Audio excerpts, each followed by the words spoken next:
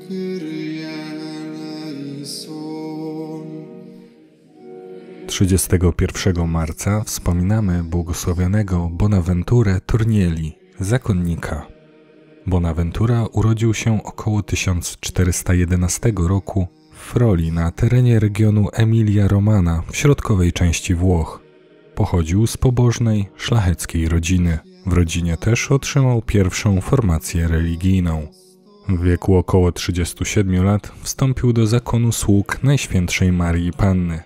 Bonaventura wyróżniał się bardzo dobrą znajomością Pisma Świętego. Po przyjęciu święceń kapłańskich sześć lat poświęcił na studia teologiczne, a po ich zakończeniu rok przygotowywał się do pracy kaznodziejskiej. Zasłynął jako gorliwy kaznodzieja, głosił wiele kazań na temat pokuty. Był proszony o wygłoszenie kazań przez Senat Republiki Weneckiej we Florencji i innych miastach włoskich. Szczególnie płomienne kazania głosił w czasie trwających epidemii.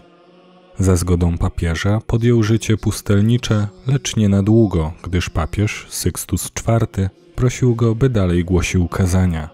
Przyciągały one wielu słuchaczy, ale ich siła tkwiła nie tylko w elokwencji, gdyż Bonaventura czerpał siły z modlitwy, podejmowanych postów i umartwień. Na przykład niezależnie od pogody chodził boso, nie jadł mięsa, nie pił wina, sypiał bez posłania na gołych deskach lub podłodze.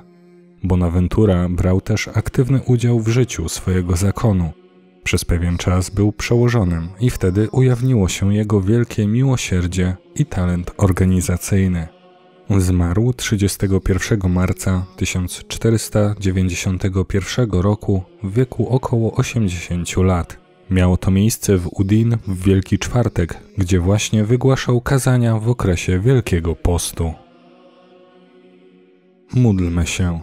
Boże, dzięki Twojej łasce, błogosławiony Bonaventura wytrwale naśladował Chrystusa ubogiego i pokornego. Spraw za Jego wstawiennictwem, abyśmy wiernie trwając w naszym powołaniu osiągnęli doskonałość, której wzór nam dałeś w swoim Synu Jezusie Chrystusie, który z Tobą żyje i króluje w jedności Ducha Świętego, Bóg przez wszystkie wieki wieków. Amen.